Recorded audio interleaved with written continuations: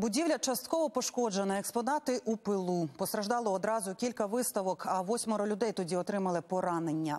Це коротко про наслідки ракетного обстрілу Одеси на початку листопада.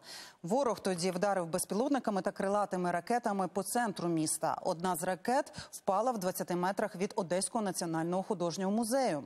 Вибуховою хвилею та осколками пошкодило будівлю. І ось після відновлення музей відкриває свої двері. Скільки тривали роботи, що вдалося відремонтувати, про все це в матеріалі Марії Тарасової.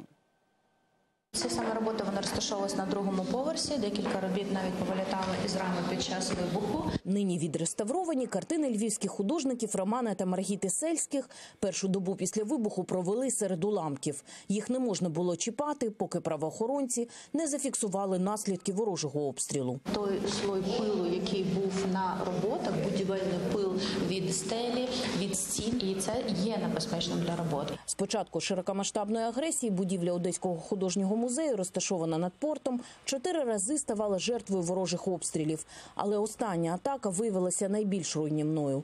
Протикорабельна ракета Онікс влучила у проїжджу частину поруч із воротами музею. Дуже пошкодила адміністративне крило. В основній будівлі зачепила фасад та другий поверх, але несучі конструкції встояли. Щоб відновити всі історичні елементи, зруйновані вибуховою хвилею, знадобиться час.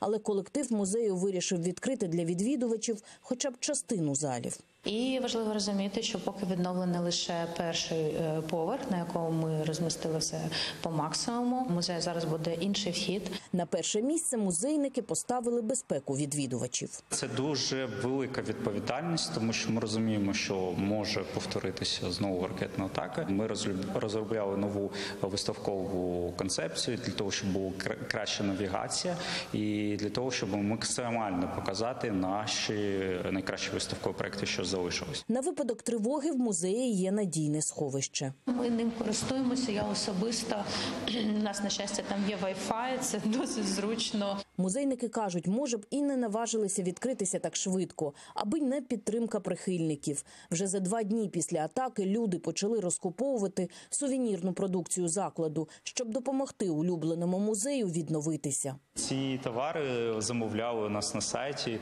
і чекали відправлення, тому що дуже багато було е, замовлень. Ми вкладали листівку, листівку, яка розповідала про те, що цей меч пережив вибухову хвилю і ракетну атаку. Щоб усе підготувати, знадобилося півтора місяця. Роботи через обстріл ніхто не полишив.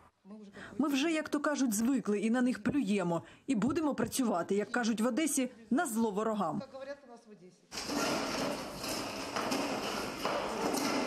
І ось музей відчиняє двері. Першими йдуть літні одесити, які хвилюються, як музей пережив обстріл. Забиті всі вікна, вхід тут був. Ви знаєте, сльози течуть по щоках мимоволі від цього виду. Основну колекцію музею евакуювали ще на початку Великої війни. Її місце зайняли роботи сучасних українських художників.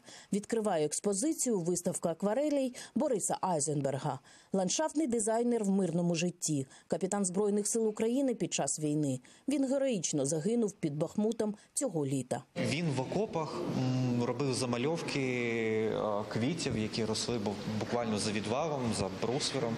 Е, Це фауна ось Бахмутщини. Якщо в них е, от вдивитися, от ти бачиш. е, е, Номенклатурний підпис і поруч місце, де це було написано. Ті, хто в курсі новин, просто вчитуючись в назви робіт, все зрозуміють. Загалом в музеї експонують три виставки. Нові проекти мають представити у січні. А перші екскурсії науковці проведуть вже цими вихідними. Марія Тарасова, Михайло Данілов, подробиці, телеканал Інтер, марафон Єдині новини.